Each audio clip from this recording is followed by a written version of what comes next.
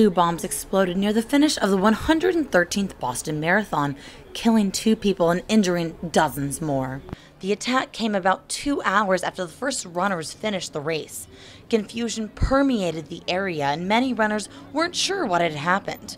This is what some had to say. It's fine.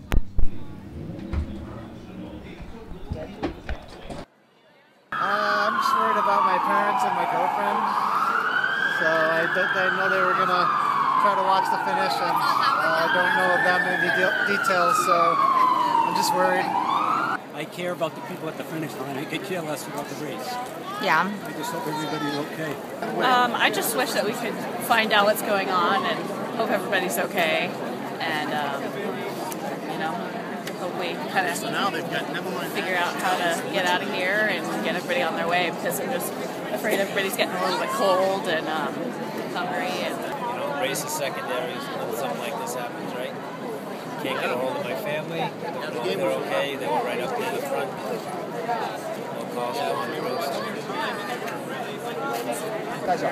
So everyone's just standing here. Excuse me. This is what it's come to.